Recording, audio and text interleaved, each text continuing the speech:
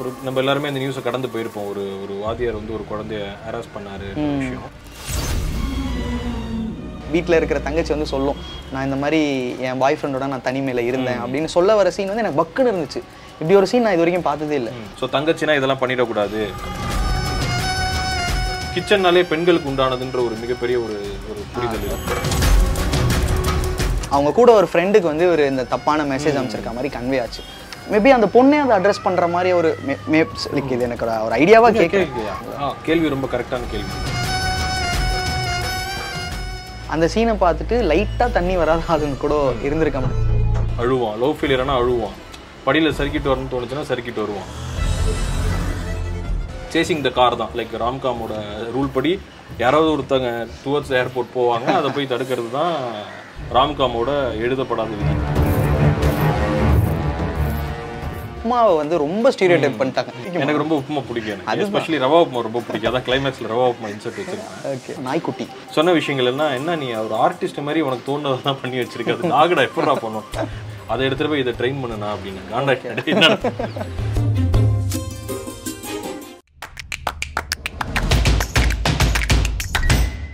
வணக்கம் விநாயக் சந்திரசேகர் பிரதர் வணக்கம் பிரதர் திடீர்னு ஒரு படம் ஒன்று வருது. அந்த படம் திடீர்னு ஹிட் ஆகுது. ஒரு ஹைப்பே இல்லை அந்த படத்துக்கு. திடீர்னு பார்த்தா கவுண்ட்லாம் இன்க்ரீஸ் பண்ணுறாங்க தியேட்டர் கவுண்ட்லாம் ஸோ எங்களுக்கு ஃபர்ஸ்ட் ஆஃப் ஆல் யார் இந்த வினைக்கு இதுக்கு முன்னாடி எங்கே ஒர்க் பண்ணாரு? இதெல்லாம் தெரிஞ்சுக்கணும்னு ஆசை. ஸோ அதை பற்றி சொல்லுங்கள் தெரியல. தேடிட்டு இருக்கீங்களா? தெரியல. ஓகே ஸோ இப்போ குட் நைட்ன்ற அந்த கதை வந்து ஒரு யூஸ்வலாக எல்லார் வீட்லேயும் நடக்கிற ஒரு கதை.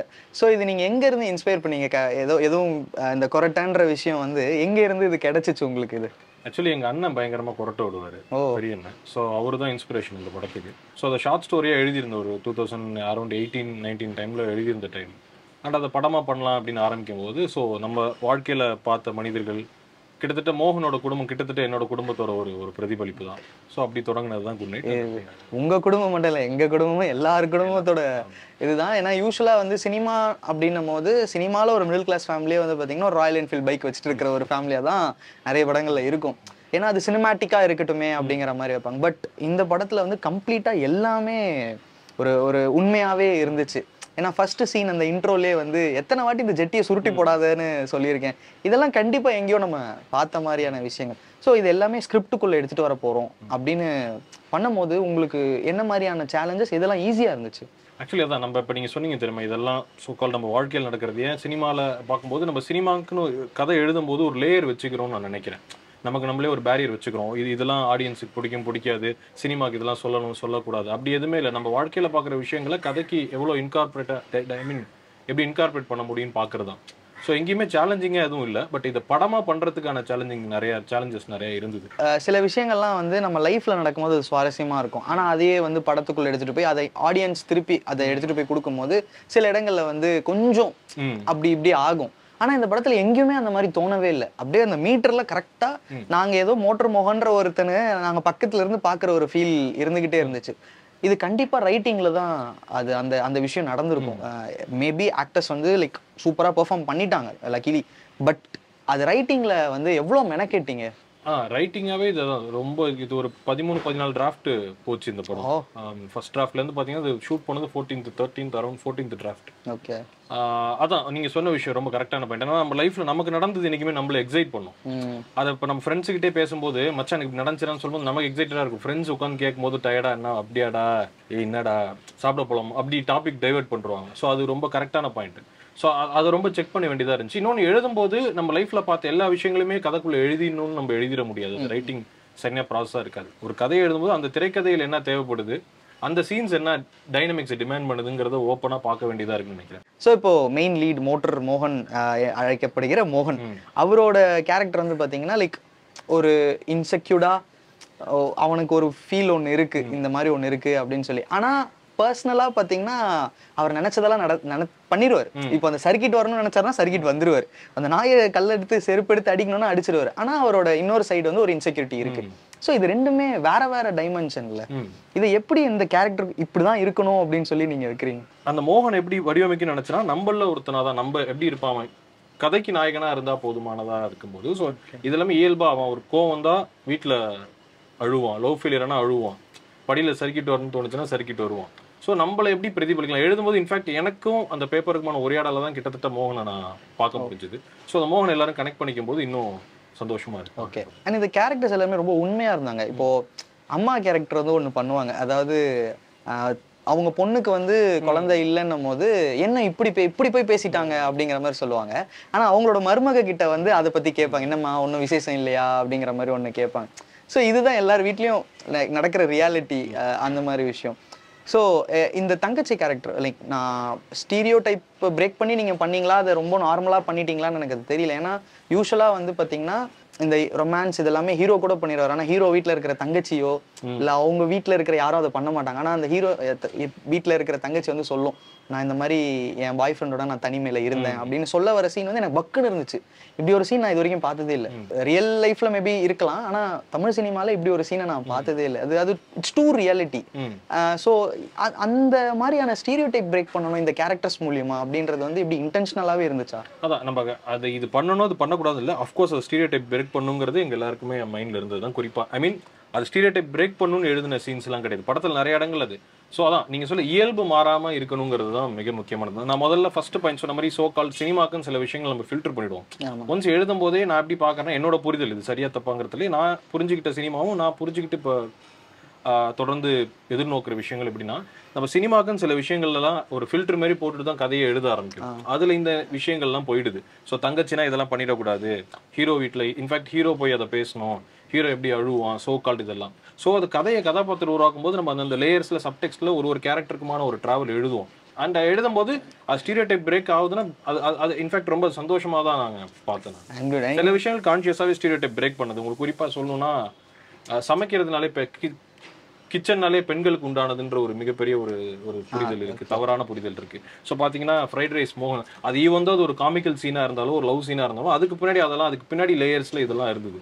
ஸோ மோகன் சம்பா அது மாதிரி ஒரு நாங்காலி பாட்டுல ஒரு மாண்டேஜ் இருக்கும். தாத்தா பாட்டி வீட்டுக்கு வரும்போது மோகன் தான் எல்லாருக்கும் காஃபி கொடுத்துட்டு உட்காருவோம் இதெல்லாம் அது மாதிரி சில விஷயங்கள் நிறைய விஷயங்கள் கான்சியஸாவே ஸ்டீரியோ டைப்பை பிரேக் பண்ணோம். சில விஷயங்கள் கதைக்கு அது நகரும் போது அது ஸ்டீரியோ டைப் பிரேக் பண்ணணும்லாம் இல்லை. கதையை நக நகரும் போது ஓகே அது அது எந்தவித சமரசம் இல்லாம பண்ணுவோம் அப்படிங்க. எனக்கு இன்னொரு ஒரு ஸ்டீரியோ டைப் பிரேக் பண்ண ரொம்ப பிடிச்ச விஷயம் வந்து இந்த உப்மாவை வந்து ரொம்ப ஸ்டீரியோ டைப் பண்ணிட்டாங்க. அது வந்து பிடிக்காது அது ஒரு உப்மானாலே ஒரு மாதிரி ஒரு அருவெருப்பான ஒரு ஃபுட் அப்படிங்கிற மாதிரி. பட் இதுல இந்த ஹீரோக்கு உப்மானா தான் ரொம்ப பிடிக்கும். ஸோ அது எப்படி உங்களுக்கு உப்மா பிடிக்கும்? எனக்கு ரொம்ப உப்புமா பிடிக்கும் எனக்கு எஸ்பெஷலி ரவா உப்புமா ரொம்ப பிடிக்கும். அதான் கிளைமேக்ஸ்ல ரவா உப்புமா இன்சர்ட் வச்சிருப்பேன். ஓகே அண்ட் ஃப்ரெண்ட்ஸ் என்ன படிச்சுட்டு மச்சான் உப்புமா படத்துல இருக்கு மச்சான். ஏதாவது ஏதாவது இருக்க போதும் மச்சான். எதுக்கு உப்புமா? வேற ஏதாவது ஃபுட் வைக்கலாம். போது இல்ல. அப்பதான் எனக்கு இது வேணும். உனக்கு அப்படி படுத்துனா ஓகே அது ஸ்டீரியோ டைப்பா இருக்குது. பிரேக் பண்றதுக்குனே இருக்கட்டுமே இது அப்படின்னு. ஏன் நான் அதை கேட்டேன்னா எனக்கு இந்த சோஷியல் மீடியாலாம் பார்த்து பார்த்து எனக்கு எங்க வீட்ல உப்புமானா எனக்கு ஒரு மாதிரி தோணுது. எதுக்குடா உப்புமா செய்றீங்க? அப்படிங்கிற மாதிரி இருக்கு. ஆனா சாப்பிட்டா நல்லா இருக்கு. நல்லா இருக்கு. நம்ம எல்லாமே இந்த மீம் பார்த்துட்டு மீம் ஷேர் பண்ணிட்டு இந்த மீம் போட்டு நம்ம உப்புமா சாப்பிட்டுதான் ஸோ உப்மாவையும் நம்ம லைஃப்பையும் பிரிக்கவே பிரிக்க முடியும் ஸோ அகைன் வந்து இப்போ எனக்கு ரொம்ப பிடிச்ச ஒரு கேரக்டர் எல்லா கேரக்டருமே ரொம்ப பிடிச்சிருந்துச்சு. நாய்க்குட்டி. ம். ஸோ அந்த நாய்க்குட்டி எங்க பிடிச்சிங்க? அதை எப்படி வேலை வாங்குனீங்க? ஆக்சுவலி இதுக்கான கிரெடிட்ஸ் வந்து செந்து மோகன் அவர் தான் இந்த படத்தோட டாக் ட்ரைனர் எனக்கு அவருக்குமான பாட்டிங் வந்து நான் கூர்கா படத்துல ஒர்க் பண்ணேன் சாமான்டன்ட் அப்போ அவர் இந்த படத்துக்கு அவர் தான் டாக் ட்ரைனர் எனக்கு ரொம்ப பர்சனலாக ரொம்ப ஒரு க்ளோஸ் ஆயிட்டார். அவர் சொல்லுவார் நீ எப்பயாவது படம் பண்ணும்போது அந்த படத்தில் அனிமல் இருந்தால் நான் தான் வருவேன். உனக்கு நான் என்ன என்னால் பண்ண முடியுமோ பண்ணுவேன்ட்டு ஸோ இந்த படத்தில் நான் ஃபஸ்ட்டு டே ஒன்று அவரை போய் பார்க்கும்போது இதில் ஸ்கிரிப்டை பார்த்துட்டு அவர் ஃபஸ்ட்டு சொன்ன விஷயங்கள் என்ன என்ன நீ ஒரு ஆர்டிஸ்ட் மாதிரி உனக்கு தோணுதெல்லாம் பண்ணி வச்சிருக்க. அது டாகடா எப்படா பண்ணும்? ஐ மீன் எட்டி பார்க்கணும் இன்ஸ் இந்த உட்காந்துட்டு அவர் திரும்பி பார்க்கும்போது எட்டி பார்க்கணும் இந்த இடத்துல நடந்து வரணும் இப்படி வரணும் இந்த ரூம்ல இருந்து இந்த ரூமுக்கு போகணும்னு எழுதியிருக்கும் போது அவர் கேட்டாரு அது படத்துல நாயின்னு உனக்கு தெரியுமா? இல்ல ஒரு கேரக்டர்னு எழுதியிருக்கியா? அது திரும்பவும் உட்காரும் சாப்பிடும் போகும்னு எழுதியிருக்கேன் இல்ல நான் எனக்கு நீ இருப்ப பார்த்துப்பேன்னு நினைக்கிறேன் அப்படின்னு. சரி நான் பண்ணுவோன்ட்டு. ஏன்னா என்னன்னா இப்போ இந்த டாக் வந்து அது ரோட் சைட்ல இருந்து கிடைக்கிற மாதிரி தான் இருக்கு. நம்ம ட்ரைனிங் நம்மளோட ஷூட்டிங் கம்ஃபர்டபிலிட்டிக்காக என்ன பண்ணிடுவோம்னா ஒரு ஃபாரின் பிரீடு ஆல்ரெடி ட்ரெயின்டு குட்டி டாக். ரோட்ல ஒரு லேபர் டாக் கிடைக்கிற மாதிரியோ ஒரு ஜெர்மன் ஷெப்பர்ட் கிடைக்கிற மாதிரியோ ஒரு விஷயங்கள் பண்ணிடுவோம் சினிமால பார்க்க நம்ம. நான் குறிப்பிட்டு சொல்ல பட் நம்ம சொல்றேன். ஸோ அந்த தவிர நம்ம பண்ணிடக்கூடாது அப்படிங்கிறது டே ஒன்லேருந்து இருந்தோம். அப்படி பார்க்கும்போது அவர் ஃபார்மில் போய் எல்லா டாக்கையும் ஃபர்ஸ்ட் பார்த்தோம். நான் பார்த்த மாதிரி எல்லாமே ட்ரெயின்டாக எல்லாமே அது ஃபாரின் ப்ரீடாக இருந்தது. ஸோ எனக்கு என்ன ஒரு ஸ்ட்ரீட் டாக் வேணுங்கும் போது நாங்கள் ஒரு தெருவில் அசிஸ்டன்ட் டேரக்டர்ஸ் போய் தேடி அடிச்சு ஒரு டாக் கொடுத்து வந்தேன் குட்டி டாக் அப்போ தான் ஒரு ஃபிஃப்டீன் டேஸ் டுவெண்ட்டி டேஸ் இருந்துச்சு. அதை எடுத்துகிட்டு போய் இதை ட்ரெயின் பண்ணுனா அப்படின்னு. காண்டா என்ன ஸோ இல்லை நான் பண்ணுனா நமக்கு ஷூட்டிங் ஒரு இருபது இருபத்தஞ்சு நாள் தான் டைம் இருந்தது. ஸோ அந்த டாகை ஃபுல்லாக ஒரு ட்ரெயின் பண்ணார் ஆக்சுவலி ஓ. இன்ஃபேக்ட் நிறைய சீன்ஸ் வந்து ஸ்பாட்ல பொறுமையா ட்ரெயின் அதுக்காக கேமரா வச்சுட்டு வெயிட் பண்ணிட்டு இருப்போம். ஓகே ஸோ நிறைய சீன்ஸ் பார்த்தீங்கன்னா இப்போ டாக் வச்சு எடுக்கும்போது குறிப்பாக பார்த்தீங்கன்னா ஒரு ஒரு ஃபில்ம் மேக்கிங் டெக்னிக் வந்து ஒரு க்ளோஸ் இன்சர்ட்ஸ் ஒரு க்ளோஸ் எடுத்துட்டு சீட் பண்ணிட்டு நம்ம போயிட முடியும். நான் இந்த படத்துல என்ன ஐ மீன் அது கேமராமேன் சார் நானு ஈவன் ட்ரெயினர் தான் எல்லாருமே கூட்டு முயற்சி தான். ஸோ ஏன்னா இது இன்சர்ட் எல்லாமே காம்பினேஷன்ஸாக எடுக்க முடியுமா அப்படின்றதுக்காக நாய் ஃபாலோ பண்ணும்போது ஈவன் இன்சர்ட்ஸும் இருக்கும். காம்பினேஷன் இந்த டூ ஷாட்ஸும் இருக்கும். ஓகே ஸோ அதெல்லாம் எடுக்கிறதுக்கு கேமரா வச்சுக்கிட்டு நம்ம வடிவேல் வெயிட் பண்ணிருப்போம்ல அந்த டைம் பார்த்துட்டு அந்த மாதிரி டைம் பார்த்துட்டு வெயிட் பண்ணிட்டு ஈவன் அந்த இவருக்கு வந்து அந்த கொரட்டையில எந்த ஒரு இம்ப்ரூவ்மெண்ட்டும் இல்லைன்ன பிறகு எந்திரிச்சு அந்த ரூமுக்கு போகும்போது நாய் வந்து லைக் அது எங்களுக்கு எப்படி தோணுச்சா தெரியல. அது வந்து போடா போடா அப்படிங்கிற மாதிரி சொல்லிட்டு போற ஒரு ஃபீல் இருந்துச்சு. கிட்டத்தட்ட அவங்க அவங்க அவங்களோட அவங்க வீட்ல இருக்க ஒரு குழந்தை மாதிரி தான் இல்லை. இன்ஃபேக்ட் அங்க என்ன நடக்குதோ அதோட பிரதிபலிப்பு தான் அந்த பப்பியா இருக்கும். அந்த குறிப்பிட்ட கல்யாணத்துக்கு அப்புறம் பிற்பகுதியில் இருக்கிற விஷயங்கள் சந்தோஷமா இருக்கும் போதும் பிரச்சனையா இருக்கும் போதும் சஃபரிங் ஆகும்போதும் அதுவும் சேர்ந்து எல்லா எமோஷன்ஸையும் கோத்துருப்போம் ஒரு பர்டிகுலர் சீன் வந்து இந்த ஆஃபீஸில் ஒரு பெரிய கேவாஸ் நடக்கும். மோகன் வந்து வேலையவே போகிற விஷயம் ஒன்று நடக்கும். ஸோ அதில் ஒரு சம மாசான scene bro first of all அது எப்படி நீங்கள் எழுதும் போதே அது அவ்வளோ இங்கிலீஷ்லேயே பேசி ஒரு அட்டாக் பண்ணி இது தெரிஞ்சு நீங்கள் பர்சனலாக எங் ஃபீல் பண்ணி எழுதின சீன் மாதிரி இருந்தது. ஆமா கண்டிப்பா இது மறுபடியும் இந்த எல்லா விஷயத்துலயும் கடந்து போறது தான். குறிப்பா ஆஃபீஸ் ஆஃபீஸ் போர்ஷன்ஸ் எல்லாமே அந்த அந்த பர்டிகுலர் விஷயம் வந்து எனக்கு ஒரு ஒரு ஒரு பெரிய ஒரு எனக்கு- எனக்குள்ள இருந்த கோபத்தோட வெளிப்பாடு தான் அந்த பர்டிகுலர் சீன் நீங்க பாத்தீங்கன்னா நான் ஒரு நம்ம எல்லாருமே இந்த நியூஸை கடந்து போயிருப்போம். ஒரு ஒரு வாத்தியார் வந்து ஒரு குழந்தைய ஹராஸ் பண்ணாரு ஆனா அது பாத்தீங்கன்னா அந்த ஆன்டி ஹராஸ்மெண்ட் போர்ட்லயே ஒரு மெம்பரா இருந்தாருங்கிற ஒரு விஷயம் நம்ம பார்த்திருப்போம் படிச்சிருப்போம். I don't want to mention the yeah so அது அது படிக்கும்போது எனக்குள்ள மிகப்பெரிய கோபம் வருது. அண்ட் அந்த அந்த கல்ச்சரல் ஸ்பேஸ்க்குள்ள ஐ மீன் கல்ச்சரல் ஸ்பேஸ்னா அந்த ஐடி ஒர்க் கல்ச்சருக்குள்ள அந்த ஐடியோட ஒர்க் கல்ச்சருக்குள்ள இது நிறைய விஷயங்கள் என் நண்பர்கள் சொல்லி நான் கேள்விப்பட்டதை வனம் கேள்விப்பட்ட வந்தவொன்னே இருந்துகிட்டே இருந்தது. ஸோ அதுக்குள்ள எனக்குள்ள ஒரு சப்கான்ஷியஸாக ஒரு கோபம் இருந்தது. அது இந்த கதையில எழுதும்போது ஃபர்ஸ்ட் அதை அட்ரஸ் பண்ணும் அப்படிங்கிறது தான் முதல் பாயிண்டா இருந்தது. ஸோ அப்படிதான் அந்த அந்த சப்டெக்ஸ்டோட லேயர்ஸ் கதைகள் கிளைக்கதை ஆரம்பிச்சது எழுதணும் அண்ட் அதுல ஒரு விஷயம் வந்து இந்த அவங்க கூட ஒரு ஃப்ரெண்டுக்கு வந்து ஒரு இந்த தப்பான மெசேஜ் அமைச்சிருக்க மாதிரி கன்வே ஆச்சு. ஸோ எனக்கு என்னன்னா அந்த விஷயம் வந்து லைக் இன்னமும் நிறைய பேருக்கு லைக் நான் அந்த ஆஃபீஸ் சர்க்கிளில் இருக்கிறவங்களுக்குலாம் நடக்கும். நிறைய பேர் அதை வந்து சப்ரஸ் பண்ணிக்கிட்டு தான் ஒர்க் பண்ணிட்டு போவாங்க. பட் நீங்க லைக் படம்னு சொல்லும் போது சில விஷயங்களை இன்னும் கொஞ்சம் மேபி அந்த பொண்ணே அதுக்கு ரியாக்ட் பண்ற மாதிரி இருந்தது ஏன்னா அது நடக்கும் பொண்ணுங்க சைலண்ட்டாக இருப்பாங்க. அதுதான் அவங்களோட அப்படி இருந்தால் தான் வேலை பார்க்க முடியும். அப்படிங்கிற ஒரு விஷயம் வந்து லைக் எல்லாருக்குமே சப்கான்ஷியஸாக இருக்கு. இந்த படத்துலயும் அந்த மாதிரி ஒரு சீன் ஏன்னா அந்த பொண்ணு வந்து சும்மா இருடா வேணாண்டா அப்படிங்கிற ஒரு சப்ரஷனுக்குள்ளவே இருக்கும். அகைன் அதுல ஹீரோ தான் வந்து அதை அதை அட்ரஸ் பண்ணுவார். மேபி அந்த பொண்ணே அதை அட்ரஸ் பண்ற மாதிரி ஒரு லைக் இது எனக்கு ஒரு- ஒரு ஐடியாவா கேட்க ஸோ அப்படி அட்ரஸ் பண்ற மாதிரி இருந்திருந்தா அது இன்னும் லைக் மீன் சோஷியலா இன்னும் பெட்டரா இருந்திருக்கும்ல. கேள்வி ரொம்ப கரெக்டான கேள்வி. ஓகே அதை எப்படி பார்க்குறோம் அப்படின்னா இப்போ இதே கேள்விக்கான பதில் வந்து பார்த்தீங்கன்னா மகாவோட லைஃப்ல நம்ம ஆன்சர் இருக்கும். பார்த்தீங்கன்னா ஆக்சுவலி இது எழுதும் போதுமே எப்படி எழுதியிருந்தாங்கன்னா அந்த ஜோசிய சீனில் ரமேஷ் அண்ணன் பேசுகிற மாதிரி தான் எழுதியிருந்தேன் அக்கா ஸ்கிரிப்ட் ரீடிங் படிக்கும்போது தான் விநாயக் மறுபடியும் ஒரு ரமேஷ் தான் பேசணுமா ஒரு பையன் தான் பேசணுமான்னு சாரிக்கு ரொம்ப சாரி அப்படின்ட்டு ரீரைட் பண்ணோம் திரும்ப. அந்த புரிதல். இப்போ இந்த கதையை பொறுத்த மட்டும் அது இந்த கதையில பொறுத்த மட்டும் லைக் கிளை கதையான ஆஃபீஸ் போர்ஷனை பார்க்க மட்டும் யதார்த்த வாழ்க்கையில் என்ன நடக்குதுங்கிறத காமிக்கிறது தான். இப்போ எல்லாருமே சோகால்டு ஒரு கட்டமைப்புக்குள்ள இப்போ மோகனுமே பார்த்தீங்கன்னா அவனுக்கு இருக்கிற எல்லா அவமானங்களையும் பொறுத்துக்கிட்டு இருக்கிறது. அவங்களுக்கு வே வேலை லைக் ஜஸ்ட் லைக் நம்ம சொல்லிடுறோம்.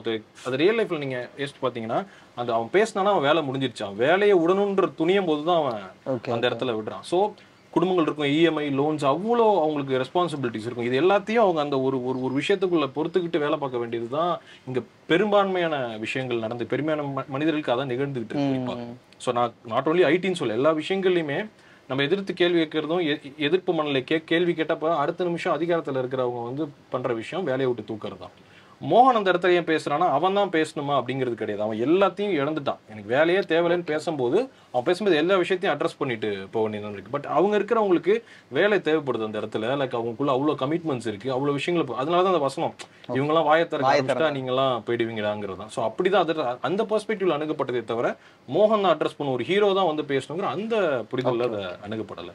டன் ஆமா ஏன்னா ஒரு அந்த இடத்துல வந்து நம்ம ஈவன் அந்த பசங்க கூட பேசியிருக்க மாட்டாங்க. எதுக்கு நீங்க மோகன் கார்னர் பண்றீங்க? நீங்க தானே தப்பு பண்ணீங்கன்னு வந்து அதை யாரும் பேசியிருக்க மாட்டாங்க. ஸோ ஸோ அந்த ஆஸ்பெக்ட்ஸில் தான் அந்த பெர்ஸ்பெக்டிவ்ல பண்ணுறோம் நீங்கள் கேட்ட கேள்வி ரொம்ப சரியான கேள்வி அண்ட் இன்னொரு ஒரு விஷயம் என்னன்னா நம்ம கிளைமேக்ஸ் வந்து ரொம்ப பிடிச்சிருந்துச்சு அந்த யூட்டன் ஏன்னா ஒரு ஒரு பதட்டம் இருந்துச்சு. ஏன்னா இந்த மாதிரி படங்கள் எல்லாமே ஒரு இதுல தான் முடியும். ஒரு ட்ரெயின்லயோ இல்ல ஒரு ஏர்போர்ட்லயோ முடிஞ்சிடும் அகைன் இந்த படம் அந்த மாதிரி போகுது. இது ரொம்ப ரியாலிட்டியா இருக்கு. அந்த போய் முடிஞ்சிடக்கூடாது அப்படின்றதுல ரொம்ப தோணிட்டே இருக்கும்போது அந்த படத்தை வந்து அப்படியே ஒரு யூட்டன் போடு. ஒரு யூட்டன் போடு அப்படின்னு சொல்லி அந்த விஷயம் ரொம்ப ஃபர்ஸ்ட் அந்த யூட்டன் மேட்டர் எப்படி எழுதுனீங்க? ஆக்சுவலி இது என்ன அது ஃபர்ஸ்ட் பிளான்லாம் பண்ணல. வெவ்வேறு கிளைமேக்ஸஸ் எழுதிட்டு இருந்தோம் அல்ட்ரேஷன்ஸ் ஐட்ரேஷன்ஸ் நிறைய போயிட்டே இருந்தது கிளைமேக்ஸ் ஸோ அது பண்ணும்போது ஒரு நாள் டிஸ்கஷனில் நான் எல்லாம் ஒன்ஸ் ஃபைனல் டிராஃப்ட் முடிச்சுட்டு இன்னும் ஒரு ஷூட்டிங் போகிறதுக்கு படி நான் மணி சார் எடிட்டர் எல்லாம் சும்மா பேசிட்டு இருக்கோம். அப்படி சும்மா பேசிட்டு இருக்கும்போது இப்படி ஒரு விஷயம் வந்தது. என்னன்னா வெவ்வேறு கிளைமேக்ஸ் எழுதியிருந்தோம். வெவ்வேறு கிளைமேக்ஸ் பண்ணுவோம். எனக்கு எனக்கு கிளைமேக்ஸ் சாட்டிஸ்ஃபைடாக வரவே இல்லை ஷூட்டுக்கு முன்னாடி வரைக்கும். ஷூட் ஆரம்பிச்சு ஒரு அஞ்சு ஒரு முதல் ஒரு டென் டேஸ்க்கு அப்புறம் ஒரு ஒன் டே சண்டே பிரேக் இருந்தது. அப்போ பேசிட்டு இருக்கும்போது எனக்கு கிளைமேக்ஸ் கன்வின்ஸே இல்லை நம்ம வேற ஏதாவது பண்ணலாம் சும்மா பேசிட்டு இருக்கும்போது என்னன்னா இதை இன்ட்ரெஸ்டிங்காக பண்ணணும்னா இப்படி துபாய் போக வேண்டிய ஒரு விஷயம் இருந்தது. இப்படி டிஸ்கஷனில் சும்மா ஒரு பாயிண்ட் த்ரோ ஆச்சு. ஸோ அப்படி பண்ணும்போது அதை பிடிச்சிக்கிட்டு அதை அப்படியே பெருசுப்படுத்த ஆரம்பிச்சு அதுக்கப்புறம் என்ன பண்ணலாம் அப்படின்னு திரும்ப ரீஒர்க் பண்ண ஆரம்பிச்சது தான் அண்ட் அதுக்கப்புறம் அந்த சீனை ரீரைட் பண்ண ஆரம்பிச்சு திரும்ப எழுதிட்டு ஷூட் போனோம். அப்படிதான் நடந்தது கிளைமேக்ஸ் பேசி ஒரு மாதிரி ஜா டப்புன்னு சும்மா பேசிட்டு இருக்கும்போது டீ சாப்பிட்ற கேப்பில் டிஸ்கஷனில் டப்புன்னு வந்ததுதான். ஏன்னா மீதி எல்லாமே முடிஞ்சிடுச்சு. அந்த இடம் மட்டும் ஒரு சின்ன அன்ஃபினிஷ்டாகவே இருந்தது கிளைமேக்ஸ் ஏன்னா எதர் படம் வந்து பார்த்தீங்கன்னா எதர் ஏர்போர்ட் நோக்கி போகிறத தவிர்க்கவே முடியல. ஸோ ஏர்போர்ட் போகும்போது ஸோ எல்லா சினிம் உங்களுக்கு ராம்காம்னாலே எண்டு வந்து எதர் சேசிங் த கார் தான். லைக் ராம்காமோட ரூல் படி யாராவது ஒருத்தங்க டுவர்ட்ஸ் ஏர்போர்ட் போவாங்க அதை போய் தடுக்கிறது தான் ராம்காமோட எழுதப்படாத விதி. அது இந்த கதைக்கு அமைஞ்சிருச்சு. ஸோ இந்த கதை அப்போ அதை எப்படி சுவாரஸ்யமாக பண்ண முடியும்? அதை எப்படி இன்ட்ரெஸ்டிங்காக பண்ண முடியுங்கிறது தான் முதல் விஷயமா இருந்தது. இன்னொன்று பெரிய பிரச்சனைகளுக்கு எல்லாமே அவங்க ரெண்டு பேருமே நம்ம உரையாடல் நம்ம நார்மலாகவே இப்போ நம்மளோட உங்களோட பர்சனல் லைஃப்ல உங்க கேர்ள் ஃப்ரெண்டோ யாரோ ஒருத்தர் பெரிய சண்டை இருந்தாலும் ஒரு சின்ன டீ கடையில் ஒரு அஞ்சு நிமிஷம் பேசுறதுல சால்வ் ஆயிடும் எல்லாமே. மிகப்பெரிய முரண்கள் மாற்றுக்கிறது எல்லாமே ஒரு ஒரு ஒரு ஒரு பதினஞ்சு ரூபா டீல பதினஞ்சு நிமிஷத்துல முடிஞ்சிடும் நம்ம காதலிகளோட ரொம்ப காதலிகள் ப்ளூரல்ல வந்து ஒன்னே இல்ல ப்ரோ அப்படியா ப்ரோ சிங்கிளா ரொம்ப கஷ்டம் ப்ரோ இதுக்கப்புறம் வர வாழ்த்துக்கள். ஸோ அந்த அந்த விஷயங்கள் இருக்குல்ல. ஸோ அவங்க அந்த அந்த ஆட்டோ கான்வெர்ஷனை வெறுமனே ஒரு ஒரு ஒரு காமெடி காமிக்கலாக இல்லாமல் அதுக்குள்ள பார்த்தீங்கன்னா அந்த மோகனுக்கும் அனுபவமான உரையாடல் இருக்கும். அவங்களுக்குள்ள இருக்க எல்லா முரண்களும் எல்லா பிரேக் பிரச்சனைகளும் பண்ணிக்குவாங்க அவங்க விவாதி விவாதிச்சு பேசி பேசி பேசி பேசி ஒரு ஒரு லேயரா ஆஃப் ஆயிட்டே வரும். அதோட எஃபெக்ட்ஸ் அந்த பக்கம் ஹியூமர் வந்து அவங்க ஃபேமிலி சஃபர் ஆகிறது தான் ஹியூமரா இருக்கும். ஹீரோயின் வந்து அவங்க ஒரு பேஷன் நோக்கி ஐ மீன் அவங்களோட ப்ரொஃபஷன் நோக்கி போகும்போது அந்த அவங்க ரெண்டு பேருக்கும் சால்வ் ஆகுற விஷயம் வந்து லைக் இப்போ இதுக்கு முன்னாடி திருச்சிற்றம்பலம்ல கூட நம்ம அது மாதிரி பார்த்துருந்தோம் எனக்கு அந்த இடத்துல எனக்கு தோன்ற விஷயம் என்னன்னா லைக் அந்த பொண்ணு அவங்க ஓகே நம்ம ப்ரொஃபஷன் நோக்கி போகலாம் அப்படின்னும் போது அகைன் இவங்க போய் வேணாம் நீ என் கூட வந்துருன்னு பிடிச்சி அந்த அந்த மேல் கேரக்டர் வந்து பிடிச்சி இழுத்துட்டு வர ஒரு ஃபீல் ஒன்று வந்து எனக்கு அந்த படத்துலயும் இப்போ கிடைச்சது. இந்த படத்துலயும் எனக்கு அந்த மாதிரி அது லைட்டாக எனக்கு தோணுச்சு. ஸோ அதுக்கு என்ன இல்ல நம்ம அதை அப்படி புரிஞ்சுக்க முடியாது. அப்படி அப்படி அப்படி அப்படி அது அந்த புரிதலுக்குள்ள இல்ல. ஆக்சுவலி என்னன்னா அவ அங்க சந்தோஷமா அவளுக்கு வந்து போகணும் என் வாழ்க்கையில ட்ரீம் கேரியர் அதுதான் அப்படிங்கிறது கிடையாது. ஓகே அவளுக்கு என்னன்னா அவளுக்கு இவன் கூட இருக்கணுன்றது தான். இவன் கூட இருக்கணும் இவன் கூட சேர்ந்து ஒன்று ஒன்றா இருக்கணும் அதான் அந்த எனக்கு நீ குரட்டை விட்டாலும் பரவாயில்லைங்க. எனக்கு இதுதாங்க வேணும்னு தான் அவன் கேட்டுட்டு இருக்கான் இவன் ஸோ அதுதான் பிரச்சனை. ஸோ ஒரு பிரச்சனையில அவன் வந்து அவன் குடிச்சிட்டு அந்த பேசுற விஷயங்கள் ஒரு கோ வருத்தத்துல தான் அந்த இடத்துக்கு போறாளே தவிர ஒரு ஒரு மாற்று ஒரு முரண் ஏற்பட்டு ஒரு வழியில தான் துபாய் போறான் இவனை விட்டு நகர்ந்து இருக்கிறது தான் சரின்னு அந்த பிரச்சனைக்கான நகர்ந்து போகணும் தான் போறான். Okay okay. அவளுக்கு தேவை இவனுக்கு தேவை மோகன் அணுவோட இருக்கணும் மோகன் அணுவும் ஒண்ணா இருக்கணும். இவங்க ரெண்டு பேருமே அதை தான் ஏங்கிட்டு இருக்கிறாங்க. ஸோ அது அது ஏக்கத்தோட பேரியர் உடையறதுமே தவிர ஸோ அவன் வந்து சந்தோஷமா நான் இல்லை என் கேரியர்ல நான் அங்கே தான் போகணும் எனக்கு எதுவும் தேவையில்லை அப்படிங்கிற பொருவ கிடையாது. பிரச்சனையில மன கஷ்டங்கள்ல பிரிஞ்சு இருக்கிற ஒரு பிரிதல் நிமித்தமா அந்த இடத்துக்கு அவ போறான் ஸோ அவளுக்கு இவங்க இங்கே தான் வந்தாகணும் இவங்க ரெண்டு பேரும் சேர்றது தான் அவங்களோட ஆசையுமே. ஸோ அதனால தான் நம்ம அந்த புரிதல்ல எடுத்துக்க முடியாது பக்கா. அடுத்து என்ன மாதிரியான ப்ராஜெக்ட்ஸ் பார்க்கலாம் உங்ககிட்ட எதிர்பார்க்கலாம்? அதான் படுத்துற அதான். மறுபடியும் கதை எங்க இழுத்துட்டு போதோ அதை நோக்கி தான் பயணிக்க வேணுங்கள ரொம்ப தெளிவா இருக்கிறேன். ஸோ இந்த கதை என்ன எங்கெங்கெல்லாம் இழுத்துட்டு போச்சோ அந்த கதையோட பயணிக்க முடிஞ்சது. இந்த கதைகள் யார் எந்தெந்த மனிதர்கள் எந்தெந்த முகங்களை கேட்டுச்சோ அதுக்கான விஷயங்கள் தான் ஒர்க் பண்ணது. ஸோ இப்படி மறுபடியுமே கதைகள் இருக்கு. இதுக்கு முன்னாடி எழுதின கதைகள் ஏன்னா ஒரு நிறைய கதைகள் எழுதி இருக்கு ஓகே ஸோ அதுல எந்த கதை என்ன அடுத்து எக்ஸைட் பண்ண போகுது எந்த விஷயங்கள் நான் திரும்ப படத்துக்கு சொல்லணும்னு நினைக்கிறேன் அப்படின்னா, நிச்சயமா மறுபடியும் எல்லாரும் குடும்பமா சேர்ந்து சந்தோஷமா பார்க்குற ஒரு படமா தான் இருக்குன்ற அந்த அந்த முயற்சியை நோக்கி தான் என்னோட நகர்வு ஓகே ஸோ இப்போ உங்களுக்கு ஒரு பர்சனல் இன்ட்ரெஸ்ட் இருக்கும்ல நம்ம இவங்களுக்காக ஒரு படம் பண்ணணும் அப்படிங்கிறது ஆப்வியஸாக எல்லா ஃபில்ம் மேக்கர்ஸ்க்குமே இருக்கக்கூடியதான் அகைன் இந்த ஸ்கேல் பெருசாகும் போது இந்த ஸ்டார் பெருசாகும் போது இதே மாதிரி ஒரு ப்ராடக்ட்டை நீங்கள் கொடுக்க முடியும்னு நினைக்கிறீங்களா?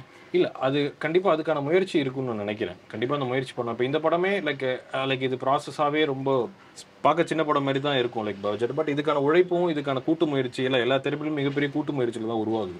ஸோ இது இந்த படத்துக்கு என்டையர் டீமாக போட்ட எஃபர்ட்டுங்கிறது கிட்டத்தட்ட பெரிய படம் சின்ன படங்கிறது இன் டர்ம்ஸ் ஆஃப் பட்ஜெட் வச்சு தான் சொல்கிறாங்க எனக்கு அதில் என்னைக்குமே அதில் எனக்கு என்றைக்குமே உடன்பாடு கிடையாது. எனக்கு அதில் மாற்று கருத்து உண்டு. படம்னா படம் தான் கதைனா கதை தான் ஸோ அதுக்குள்ளே பெருசு சின்னது மீடியம் சைஸ் லார்ஜ் சைஸ் எனக்கு அதில் பெரிய உடன்பாடு கிடையாது. ஸோ அகைன் அந்த கதை என்ன தீர்மானிக்குது? அந்த கதை எந்த கதைக்களத்தை கேட்குது? அதுக்கான கதை மாந்தர்கள் என்ன? அந்த கதை மாந்தர்கள் எந்த தொழிலில் இருக்காங்க? என்ன உங்களோட எக்கனாமிக்கல் ஸ்டேட்டஸ் என்ன? அதை சார்ந்து கதைக்கு என்ன தேவையோ இப்போ அவங்க ஒரு பெரிய ஒரு பத்து மாடி கட்ட குடியிருப்புல இருக்கிற ஒரு பெரிய பிசினஸ் மேன் பத்தின கதைனா அதை சார்ந்த லைஃப் ஸ்டைல்ஸ் காட்ட வேண்டியிருக்கும். அதுக்குள்ள இருக்கிற பிரச்சனை காட்ட வேண்டியிருக்கும். அதுக்கான பட்ஜெட் தேவைப்படும். இப்போ மறுபடியும் எனக்கு என்னோட எளி நான் பெரும்பாலும் நான் எளிய மனிதர்களோட கதையை சொல்லணும்னு ஆசைப்படுறேன். ஓகே ஸோ நம்ம நம்ம ஒரு மிடில் கிளாஸாக நம்ம எளிய மனிதரோட கதை அவங்களுக்குள்ள இருக்கிற அழகு அவங்களுக்குள்ள இருக்கிற போராட்டங்கள் அந்த போராட்டத்துக்குள்ள இருக்கிற ஒரு சந்தோஷம் இதெல்லாம் தான் பதிவு பண்ணணும்னு நினைக்கிறேன். என்னோட என்னோட மெயின் அப்ஜெக்டிவா அது இருக்கும். குட் நைட் பார்த்துட்டு மறக்க முடியாத ஒரு அப்ரிசியேஷன்னா யாரு சொன்னாங்க? எனக்கு ரொம்ப சந்தோஷம் மனசுக்கு நெருக்கமா இருந்தது என்னன்னா தேட்டரில் ஒரு பர்டிகுலர் தேட்டர் முடிச்சுட்டு வெளில நிற்கும் போது ஒரு நாற்பத்தஞ்சுலேருந்து ஐம்பது வயசுக்கு ஒரு ஒரு பெரியவர் ஒருத்தர் வந்து அப்படி கையை பிடிச்சிட்டு அவர் கடைசி ஆட்டோ சீன் வந்தனால மேபி அவங்க முகம் பதிவாயிடுச்சு ஸோ கையை பிடிச்சிட்டு குடும்பம் வந்திருக்கோம். அந்த குடும்பத்தை காமிச்சிட்டேன். குடும்பம் பா ரொம்ப நாள் ரொம்ப நிறைய கஷ்டமா இருந்தது. வந்தோம் உள்ள வந்தோம் மனசார சிரிச்சிட்டு போனோம் தம்பி. தயவு செஞ்சு மறுபடியும் இது மாதிரி எங்களை சிரிக்க வைக்கிற மாதிரி ஒரு படம் பண்ணுங்க அப்படின்னு சொல்லிட்டு கையை அப்படி இறுக்கி அணைச்சிட்டு போனார். ஸோ மக்கள்கிட்டேருந்து அது வரும்போது ரொம்ப சந்தோஷமா இருந்துச்சு. அதை தாண்டி திரைப்பிரபலங்கள் நடப்ப இயக்குனர்கள் எல்லாருமே நிறைய பேர் ஃபோன் பண்ணி பாராட்டினாங்க. அது எல்லாமே ரொம்ப சந்தோஷமா இருந்தது. ரொம்ப ரொம்ப நன்றி. நாங்க கேட்ட கொஸ்டின் எல்லாத்துக்குமே நீங்க வந்து ரொம்ப பொலைட்டா ரொம்ப தெளிவா எக்ஸ்பிளைன் பண்ணீங்க. தேங்க்யூ ஸோ மச் ரொம்ப நன்றி ரொம்ப நன்றி.